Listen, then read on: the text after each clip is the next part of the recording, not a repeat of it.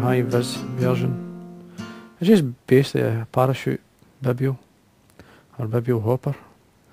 And I've got one with a fluorescent post and one with a white post. Now it always pays to have do this, if, especially in a in a dull day or a, an area in the loch where you cast, you can't see the wing too well the fly. And having fluorescent post does help. Uh, doesn't seem to affect it too much with the fish, it's certainly worth having in the box of different colours. Now, the hook I'm using is a, this is a hook, it's the Osprey hook, it's from Veniards. It's Veniards, the company, it's basically a wholesale company, it supplies a lot of the shops here in the UK and a few around the world as well. Now, it's called this a standard grub, but as you see there it says continuous bend. It's got a lovely bend in it, so you get a nice shape in your fly. And I found that when tying these flies, it, it just it, adding the shape as well as it sits really well. Now I'm just going to use a, a black, say uni thread. It wind down until I'm in line with the point of the hook and remove the waste piece. And then I'm going to bring it halfway back up. And this will give you the position for the wing. Now the, the material in the wing, in this case, this is a Glo-Brite yarn. It's just a fluorescent pink. Now I usually cut away a bit, maybe two inches or so. There's a couple of ways you can tie this in. And both ways, I'm going to show you two different ways. You simply can tie it on, three or four turns in, bring it up and post both these fibres together to form your wing. Or, which I think I like, this way, if I can untangle this, it's just to simply come from underneath, get both ends together, and then get in the centre. Start off with a like a figure of eight, two or three times, and then post the wing. Just come two or three times. There we are. And that sits it really well. I mean, it's up to yourself. It's up to the way you want to do it. And uh, both work.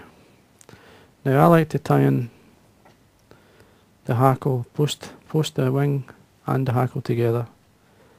The, the basically what happens is when you're winding a parachute hackle, you do a turn, your neck should be underneath. So if obviously you take the hackle up, the only way you're going to wind is coming down, so it makes the tying the fly very easy. You look in the width of the, if you look at the hackle length, fibre length, at least the hook. So you put the stem in the centre, should fit in, it's fine. You can have them to suit yourself, it's up to you. I mean, that's the way I like to do it. Now bearing some of the stem. Now, this is a saddle hackle. It's a, a whitened saddle, a Hebert Miner. It's a nice, it's a nice hackle to use for parachute flies. Now just take your thread up nice and tight and then come back down. As I said, take your hackle up with it. And then as you see the stems at the back. And all you do then is continue down, tying this in. Now for the rib, I'm using this. This is a Opal Mirage, a medium one. And what I do is I take some off and I, I stretch it. Give it a wee stretch and it goes a blue colour. And it reduces by at least a third. So makes for a nice rib and adds a bit of colour to this fly. Just carry on down. Now I would suggest that you sometimes tie some without a flashy rib um, because the fish get a wee bit shy to flash. It's always good to have something different, something without it. But anyway, I'm going to use a black seal's fur for the body. Slide it up. Put it on nice and thin, just to form. Now I'm representing more midge than anything with this body, nice and slim. Just work it up. Form some sort of taper, just to allow it Just Just build that. it up. I need a tiny bit more just to finish off.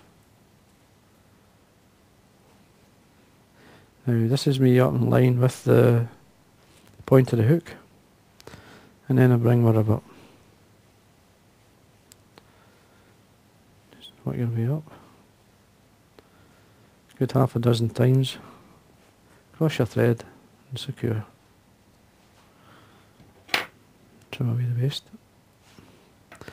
Now if you're going to put legs on this fly, this is the time to do it. And I'm using, this is the pre-knotted pheasant tail legs dyed black. I take two from either side. So just get two good ones. Set them down. The reason I like to take two from either side, you'll find they sit a wee bit better for you. Get the shape that you like. Now, where you want it underneath or just on the side, just slightly on the side I like it. Now at the full length of the body, or the hook. There we are. Get my other two. Get them to sit the way you want. Twist them round to sit. Same length. Just hold them on the side. And then secure them in. Wee quick look. That'll do fine. So you can have them underneath if you want. It's up to you. Some people do like them underneath. Just make sure it's secure. Then I'm going to get some red seal's fur. Or as I say, you can use a good sub is SLF. That's a nice material. It's a nice, nice material to use, and it, it does catch fish. So, and then form the first part of the thorax, which is going to be red, which is the Bibio colours, which are black, red, black. Now, what I'm going to do here is form the hackle. I'm going to tie it. I'm going to just basically work my way down. One turn under the other. You put in as much hackle as you feel you would like. I think around about half a dozen turns or so is plenty. Depends on the hackle as well. There's a lot of reasons why you feel that be enough, and that's okay. Now what I normally do is pull back the fibres. With these two fingers here I hold the hackle. You may not see that. And then come up and catch them in with the turner thread. Nice and tight. Trim away the excess. Just make sure to pull the hackle fibres back out the way. Tie in. I found this to be really strong and quick way of that. It's just something I like doing. And then finish off the towards the head a wee bit of dubbing. Black dubbing in this case. So that would be your black, red, black. Can lift it up.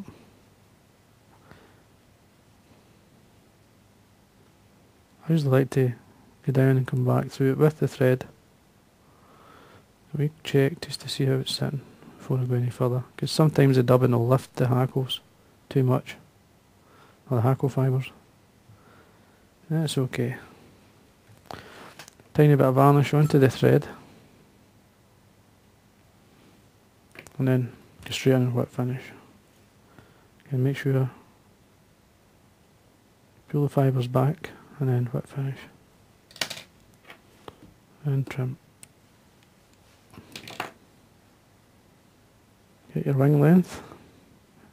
Again, it's as long as you want it to be, uh, or shorter as to be, uh, it's up to yourself. But to start off with, I would say probably if you hold it towards the back of the hook, and line with the back of the hook and then trim. There we are.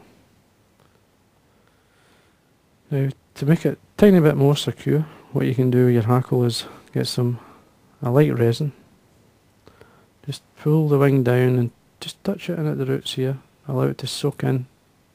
Don't want it to go any further than just in at the the root of the wing and into the stem of the hackle, just at that point there. and then lift it straight up and then get your torch and set your resin. There we are. And that's your, basically it's a, a Bibio hopper with a parachute hackle.